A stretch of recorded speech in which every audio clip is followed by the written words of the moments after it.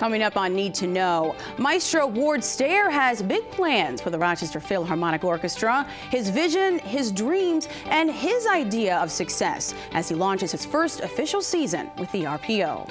Also on the show, everybody needs somebody in this world.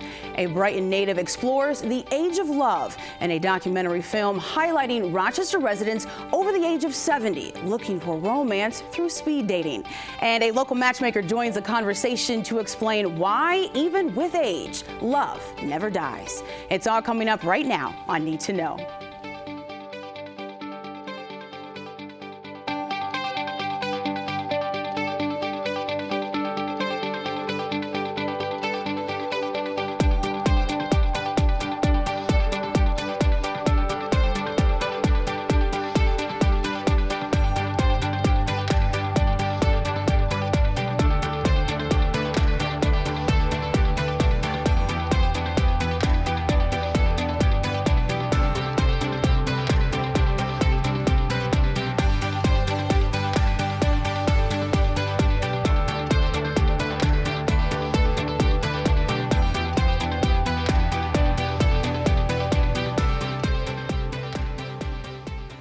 Introduced to the piano at the age of five.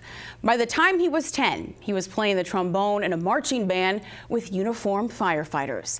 When he was 18, he was named principal trombone of the Lyric Opera Orchestra. He was the youngest musician to join that ensemble. And the Pittsburgh native is also the youngest music director to take the baton for the Rochester Philharmonic Orchestra now in its 93rd year. So what are Ward Stare's plans for the RPO as he rolls up his sleeves and makes preparations for the launch of the 2015-16 season. He joins us in the studio to share the details. And Ward, it's great to have you on the program. Thank you for having me. Great to be here. Thank you. So just to start off, I'm curious to learn the process of putting together a new season, and in your case, an inaugural season as music mm -hmm. director for the RPO, because we're talking 12 Philharmonic Series concerts beginning this fall, and it seems like quite a task to craft this plan. So walk me through the steps, and are you seeking the advice and expertise of others along the way. Oh, absolutely. Uh, there, there's so many things to consider. Um, we we want to have a good mix of programs so that we get something for people who know a lot about classical music and are real connoisseurs, uh, while at the same time uh, giving the audience you know pieces that they're familiar with and that they'll be able to relate to. And then of course you want uh, pieces that the orchestra finds fulfilling artistically to keep them uh, engaged and, and, keep them satisfied. So it's a big mix. Uh, you also have to take into consideration things like budgets, rentals, uh, world premieres if you're going to do some of those, bringing new music. Um, we go back and in this case we went back into the archives to actually discover uh, the history, performance history of some works. And I found there were some pieces that are very familiar, which have not been performed on the Philharmonics uh, in Rochester since the 40s and the 50s in some cases. So I've brought some of those back. And I think what we ended up with was a really great uh, mix of repertoire that's got something for everyone on the season but and it's a very complicated process. So how much of the season is Ward Stare? Meaning, how much of it comes, when it comes to symphony selections, your choice, guest appearances, your choice? Well, uh, there's some, I mean, there's a lot of collaboration. I have a, a great partner in uh, Dick Decker, who's our Vice President for Artistic Administration, and he and I uh, discuss everything from guest artists and repertoire to uh, you know, rental fees and plans uh, two and three years down the line. But um, once we've decided on which guest conductors and guest artists we're going to engage, then there is some room for uh, a dialogue about what piece they'd like to play. I mean, we wouldn't want someone to come and do a, a, work as, as a guest conductor or a soloist that they were not comfortable with, for example. We want to show everyone in their, in their you know, best light. Um, so, you know, for example, we had uh, a couple, we had room to put a little bit more Germanic, sort of traditional classical repertoire uh, on one of our weeks, and we thought that Gunter Herbig would be a great fit for that. Uh, he hasn't been with the orchestra for a couple years, and, and they like him. He's a really great, you know, old school maestro. And so I thought Mozart and Schumann, something along those lines would be good, and it turned out he, he enjoyed those works and was excited about doing those with the RPO as well. So it kind of it worked out very well. Um, so we do we usually throw out sort of a general direction to our guest conductors and see what they come back with, and then it's an ongoing dialogue, and then we sort of settle uh, on the final program in the end, and, and it works out very well. Very good. Well, you're conducting the season opener this fall, Pines of Rome, and also in the lineup of symphonies that I can actually pronounce on the list because I have a hard time. We've got Romeo and Juliet, Mozart's Symphony Number 29, mm -hmm. and Strauss's Four Last Songs. Mm -hmm. So, mm-hmm. what do you hope, based on your musical selections, um, which which ones in particular do you do you think that your audience uh, will get to experience something new, or did you did you work on finding something to bring an element of new to mm -hmm. to the mm-hmm. RPO this season? We worked. Uh, one thing I was really uh, going for in every program was having a mix of something that's new and maybe unfamiliar with, for the audience, but also pieces that they'll recognize and pieces that are really in the in the pantheon of the great works in classical music. Um, and actually, the Four Last Songs program is a good example of that. On that particular program, we begin with a brand new piece for our Rochester audiences called Rapture by Patrick Harlin. He's a young, very talented American composer.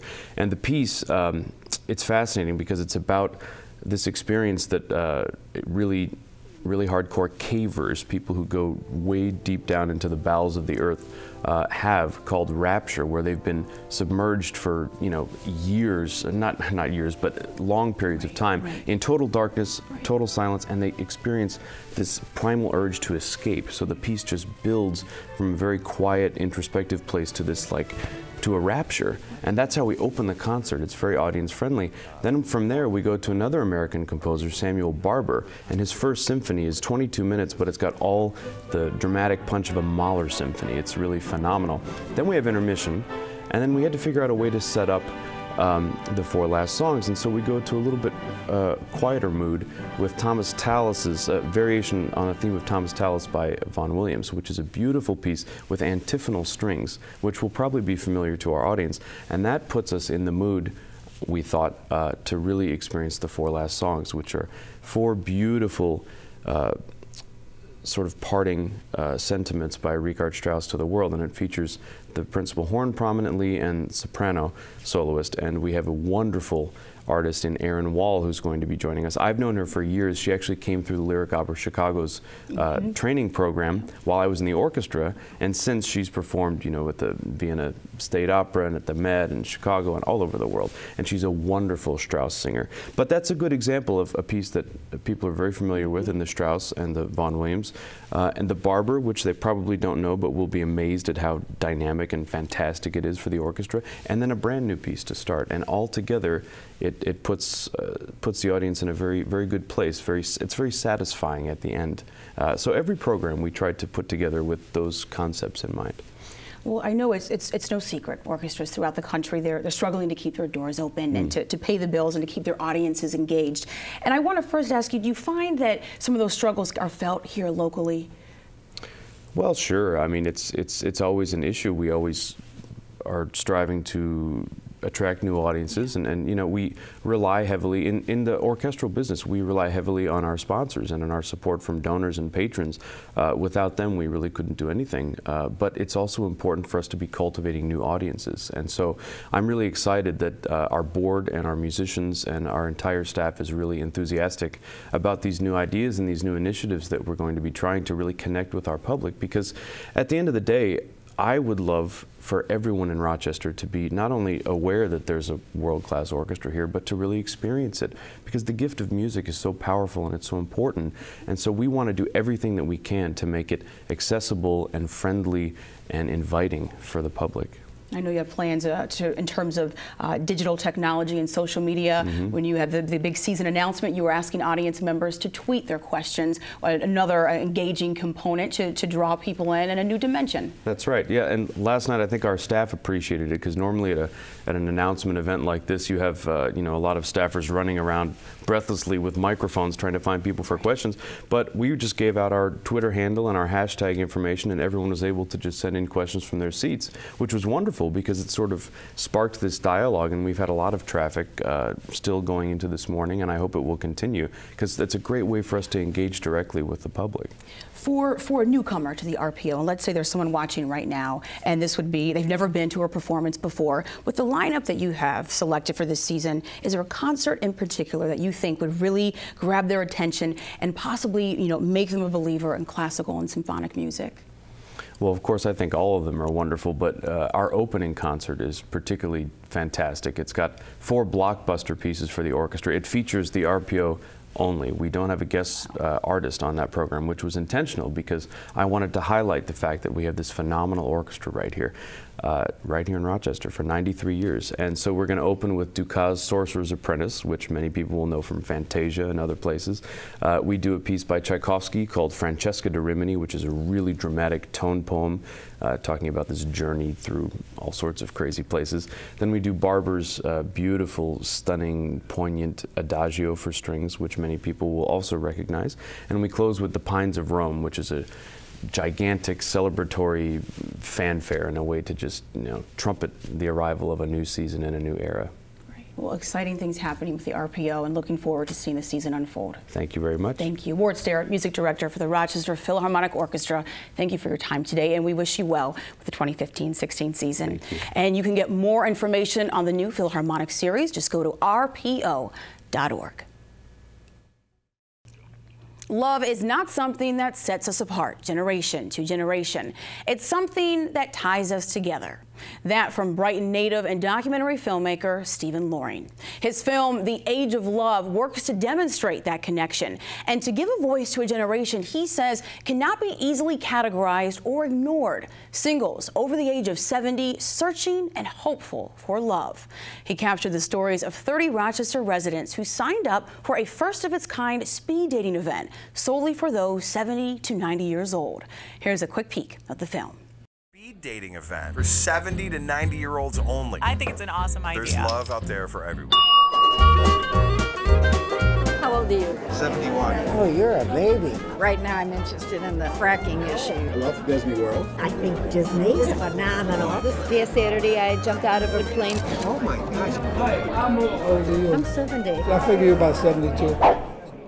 Time to move. I just felt a spark. She's got a twinkle in her eye. There's a couple. One of them I'm looking for now. My juices didn't run, dear. We were all trying to sell ourselves. Did I pass? One of these girls could have been the love of my life.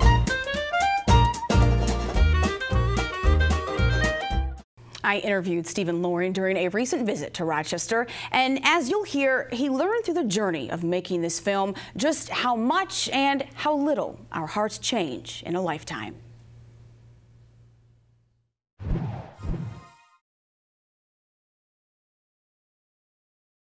It's not about celebrities. It's not about people who are actors or who are known or who have some, you know, notoriety or celebrity. The people who are in this movie are your average, voiceless, invisible suburban Rochester seniors, you know, the kind that you walk by every day and wish they'd move faster on their, you know, with their infirmities and you don't look at. And I think society doesn't look at these people and doesn't give them a voice, really throughout human history. It was two, one generation, two generations, three generations. And since the you know, 70s, another generation of humans have appeared on this planet.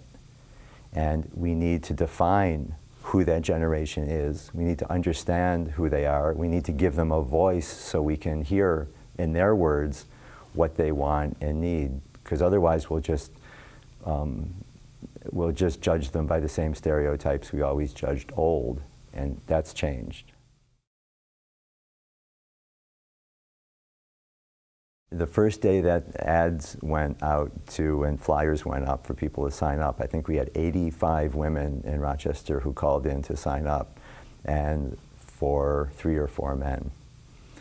And you know that's something that in every city that they've done, you know I've talked to people in Colorado Springs and Bridgeport. Uh, they've done these events, and it's always a fight to get men to come out. And it's not because you know I mean there there maybe there's sociological differences in that men there's more women, a lot more women in that age group because they live longer.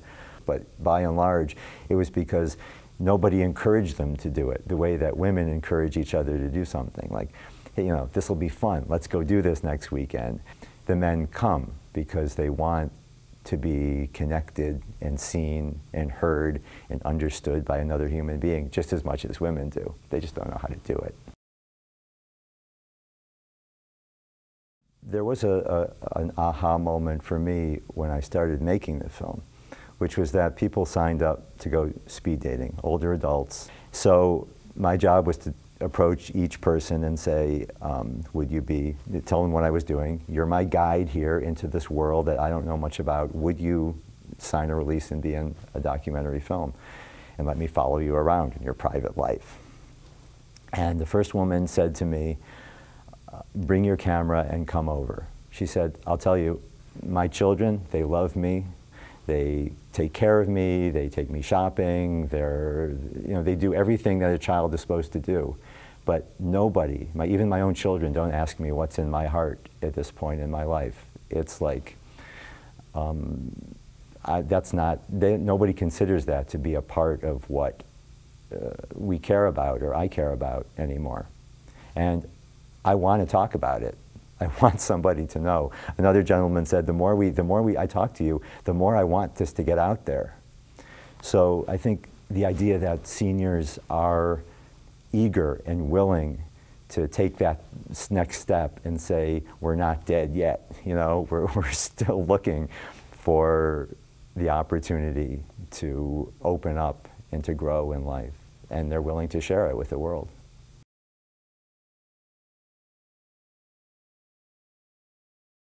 Love is not a way to, um, that's something that sets us apart generation to generation, something that ties us together. So if you're 18 years old and you see a 75 year old woman open up her results from a speed dating event and burst into tears because she felt rejected by the man that she was hoping for, uh, if you're in high school, you're going to know what she's feeling immediately. And so that's the goal for the film, is to start an intergenerational conversation.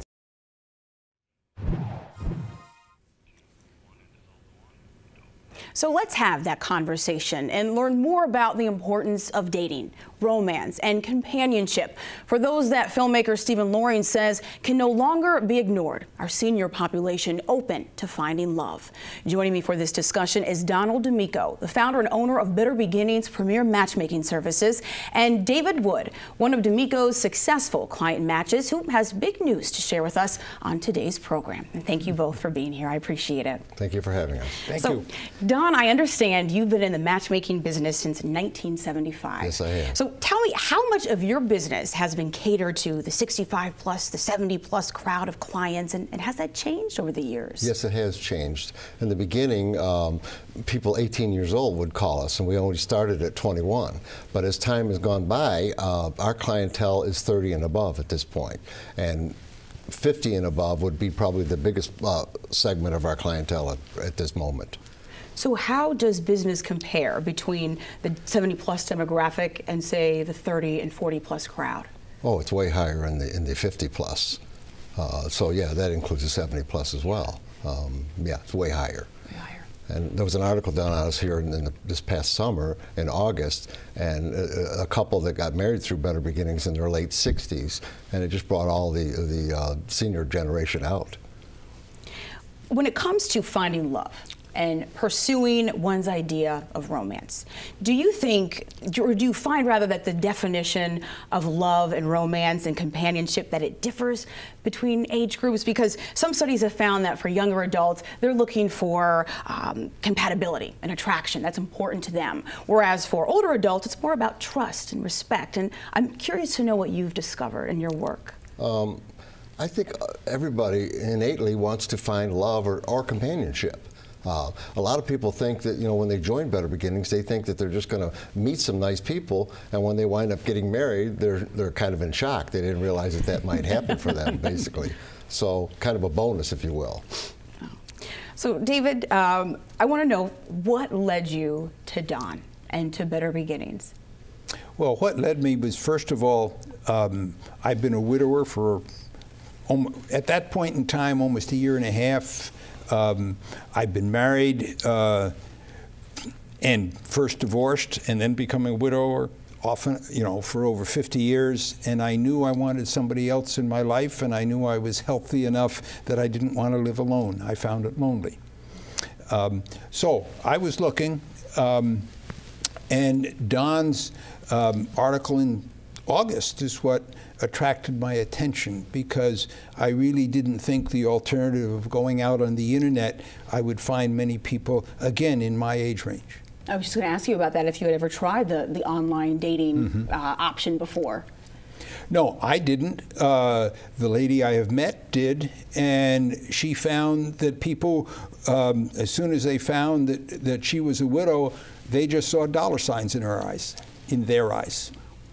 And before reading this article about Don and before approaching him in August, did you ever on your own try to find that, that love that you were open to?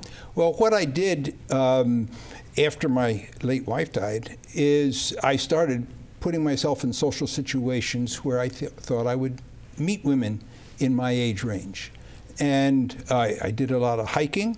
Um, I continued the work that I've done for, for a number of years at uh, the Jewish Community Center here in town. And what I found is most of the ladies I was meeting uh, were significantly 10 years younger than I am. And I personally believe age difference is a little bit more significant when we're in our age range because all the younger person has to do is look and say, what are the odds of my being a home health aide? So when I met with Don in September, I basically said, I want to find someone uh, that's about my age. Well, Stephen Loring, the filmmaker of The Age of Love, he said in terms of speed, da speed dating, which was the matchmaking system used in, in his film, we just saw this, he found that men weren't as quick to participate. And it wasn't just here in Rochester, he found that all over the country. And, and Don, do you find when it comes to your services, uh, you're approached by women more so than men? Yes, Uh, absolutely. Why, why do you think that is? I think, one, there are more women to go around. And uh, as he uh, mentioned in his film, women are doers. Where men would sit around and wait for fate to fulfill their dreams, women are going to go, go for it. They're going to put themselves out there and try and find something to make them happy. Uh, David's a rarity then, because he put himself out there. I mean, join these social groups and that sort of thing. Right. Yeah. Right. So, in terms of the ideal partner for you, David, when you connected with Don, what did you tell him you were looking for? Oh, I told him I was looking for somebody who, first of all, was a happy person, second, was an active person, and third, was maybe healthy. So, in my age range. And in your age range. So, Don, how, talk to me about how you approach matchmaking then when it comes to this age demographic. So, David approaches you and he tells you what, what he's looking for. What's your plan of attack, so to speak? Well, uh, we have a questionnaire that we fill out, find out uh, people's preferences, values, feelings, type of people they'll feel most comfortable with. And uh, when David talked to me, um, uh, Millie had already met someone else, and, and she wasn't it wasn't a, a go. And so Millie is the one that you eventually ended up yes. connecting. Okay, so right. we'll go right. back to this. Okay. So, uh, uh, you know, I thought of David immediately because he's vivacious and young for his years, and, and so was she. And um, so I, I, I, introduced them, and um, it was um, a pretty good match as far as David was concerned. Oh, yes. so, I, I'm and sure. By, by the way, yes. it was the only match that I, that I gave David. So Millie was the the one and only match that right. you gave David. She right. was my first phone call. Your first phone call. So then, yes. so tell me what happened. So you make this match, and then what happens, David? Okay, what ha what happened is um, we met uh, in a public place and sat down and talked for about an hour, hour and a half, finding out what we had in common, and it turns out we had a lot. Um, first of all, you know, her attitude toward life, being a happy person. Yeah. One of the neat coincidences is that she raised her family within half a mile of where I raised mine. Wow. Although her sons and daughters are a bit older than mine, they all went to the same high school. And uh, we were that close and never connected. Look at that. So we found lots of things that were of interest. Um, and then our first date, it turned out, was we did a raft trip down the Genesee River just because I had an opportunity to do it, and I thought it would be fun to see um, how she acted in that kind of a situation. And I'm sure that people they're they're on the edge of their seat right now. How is it going now? Because you've got big news to share. Yes, great news in that uh, day after on Saturday, the 14th, uh, we're going to be married in Scottsdale, Arizona. Congratulations. Why, thank you. So how, how does this make you feel? Makes me feel incredible. And, and, and I have something to add to that. Yes. As, uh, I had called David up and I said, David, so how did it go? And he says, well, uh, their second meeting, he says, we're going whitewater rafting this weekend. and that was kind of a shocker to me.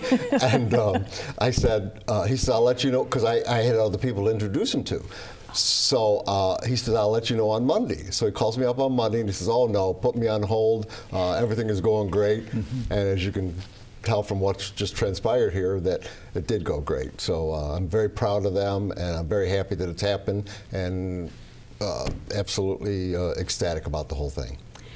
Don, when we spoke before, you said to me that even with age, that love never dies. And right. I want you to, why do you believe that? Because it's inherent in all of us. It's a need. It's a, something that needs to be fulfilled. It's uh, love and companionship. It makes the world go round.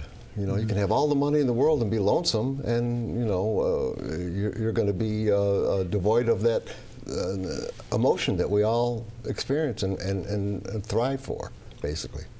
And when you meet with people, and you uh, when you met with David, what type of what types of advice do you give to them in terms of you know it's they're they're open and they're ready and and they want that companionship.